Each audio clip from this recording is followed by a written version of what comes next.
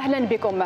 المنافذ الحدودية للعراق إحدى أبرز مظاهر الفساد في البلاد منذ 2003 وذلك بعد سيطرة الميليشيات والأحزاب عليها وعلى مداخلها وهو ما يفقد البلاد سنويا مليارات الدولارات التي تعود إلى جهات تسيطر على هذه المنافذ.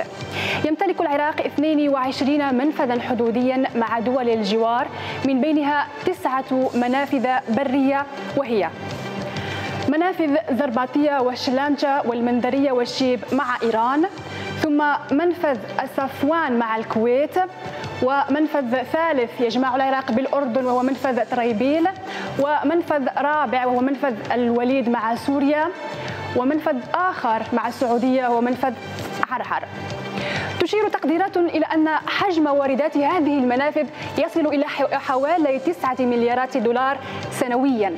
لكن ما يدخل منها فعليا إلى الخزينة العامة لا يتجاوز 800 مليون دولار. إذ تعود غالبية الواردات لأحزاب وميليشيات مسلحة وهو ما يكبد خزينة الدولة مبالغ طائلة.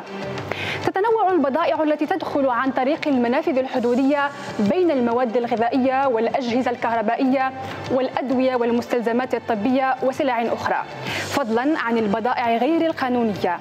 وتشير تقارير إلى أن بعضا من التجار يضطرون إلى دفع رشاوى كبيرة لضباط ومتنفذين لقاء تسهيل مرور بضائعهم وإحفائها من الرسوم.